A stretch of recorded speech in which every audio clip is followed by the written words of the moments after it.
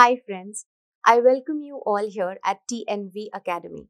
Let us discuss the clause 9, performance evaluation of the standard. Let me begin with the clause 9.1, monitoring, measurement, analysis and evaluation. The subclause 9.1.1 general states that the organization must determine what needs to be monitored and measured the methods for monitoring, measurement, analysis, and evaluation as applicable to ensure valid results. When the monitoring and measuring shall be performed. When the results from monitoring and measurement shall be analyzed and evaluated. And who shall analyze and evaluate the results from monitoring and measurement.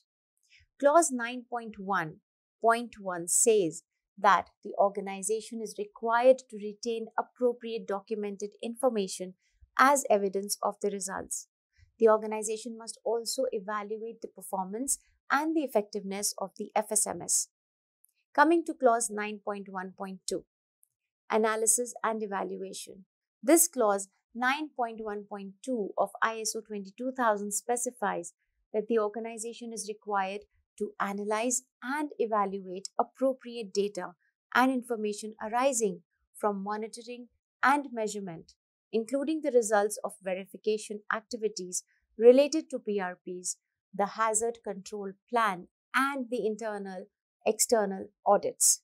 Subclause 9.1.2 states that the analysis must be carried out to confirm that the overall performance of the system meets the planned arrangements, and the FSMS requirements established by the organization. According to this subclause, the analysis must be carried out to identify the need for updating or improving the FSMS and to identify trends which indicate a higher incidence of potentially unsafe products or process failures. The subclause 9.1.2 says that the organization is required to carry out the analysis to establish information for planning of the internal audit program related to the status and importance of areas to be audited. Further, the subclause 9.1.2 specifies that analysis must be carried out to provide evidence that corrections and corrective actions are effective. Subclause 9.1.2 specifies that the results of the analysis and the resulting activities must be retained as documented information. The results must be reported to top management and used as input to the management review and the updating of the food safety management system.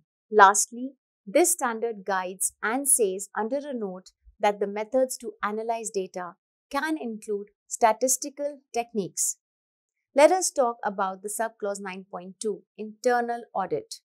The subclause 9.2.1 internal audit states that the organization is required to conduct internal audits at planned intervals to provide information on whether the food safety management system conforms to the organization's own requirements for its food safety management system and the requirements of this standard as per this clause, the organization is required to conduct internal audits at planned intervals to provide information on whether the food safety management system is effectively implemented and maintained.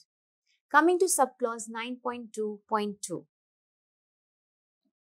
The subclause 9.2.2 states that the organization must plan, establish, implement, and maintain audit programs including the frequency, methods, responsibilities, planning requirements, and reporting.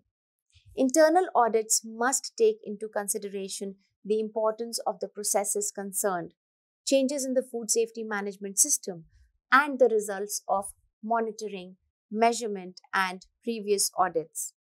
As per this subclause, organization is required to define the audit criteria and scope for each audit and also select competent auditors and conduct audits to ensure objectivity and the impartiality of the audit process.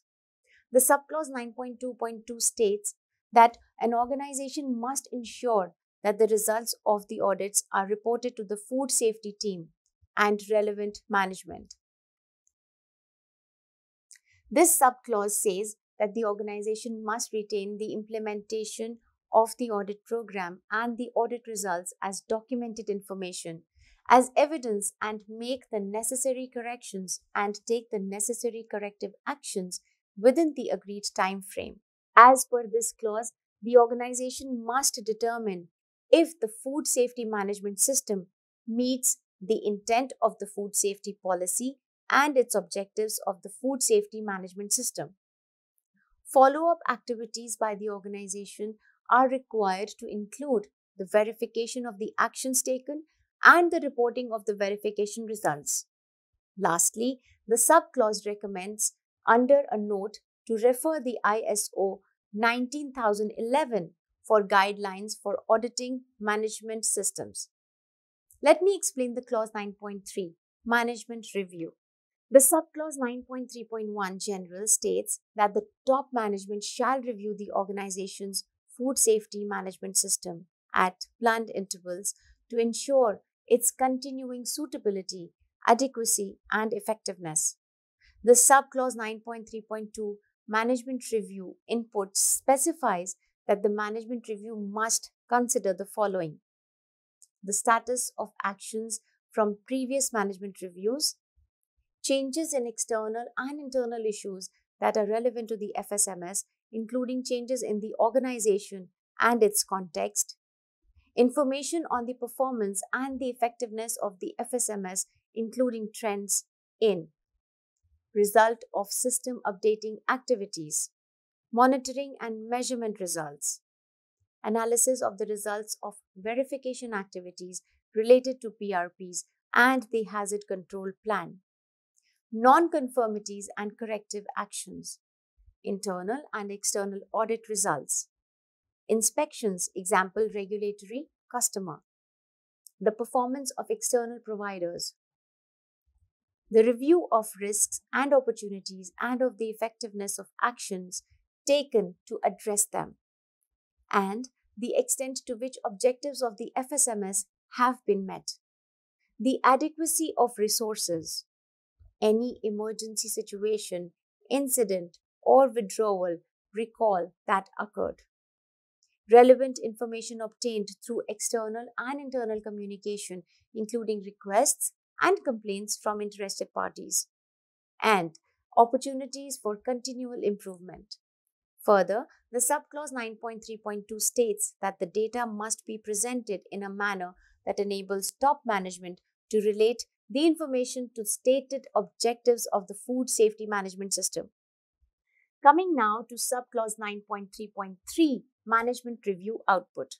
According to this subclause 9.3.3 of ISO 22000, the outputs of the management review is required to include decisions and actions related to continual improvement opportunities. The clause says that the management review output is required to compromise any need for updates and changes to the food safety management system, including resource needs and revision of the food safety policy and objectives of the food safety management system. Lastly, covering the mandatory documentation requirements, the standard through subclause 9.3.3 specifies that the organization is required to retain documented information as evidence of the results of management reviews. Friends, we have now concluded the Clause 9 performance evaluation of ISO 22000 2018. For more information about our institute and other training programs, you can contact us through email or phone. I sincerely thank you all for your interest and attention.